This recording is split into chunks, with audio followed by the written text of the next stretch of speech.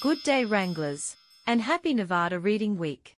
This is your mystery reader for Monday, March 4th. Listen carefully and submit your guess on the Google form. Good luck.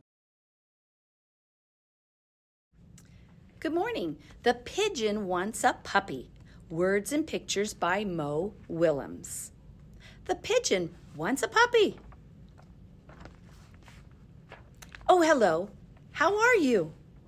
I'm fine. Thanks for asking. By the way, do you know what I really want? What I've always wanted forever? Well, at least since last Tuesday.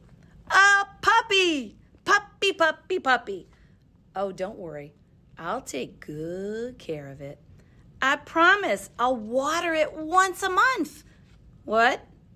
Everybody knows that puppies need a little sunshine and water. Oh, I get it. You don't want me to be happy, do you?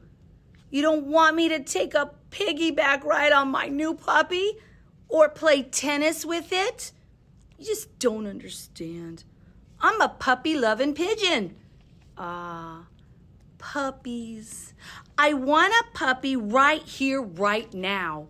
Woof. Ooh, what's that? Woof, woof. Is it possible? Have my dreams come true? Woof. Ah! It's huge. The teeth, the hair, that wet nose, the slobber. My gosh, the claws.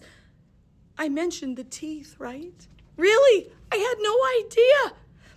I've changed my mind. I want a walrus.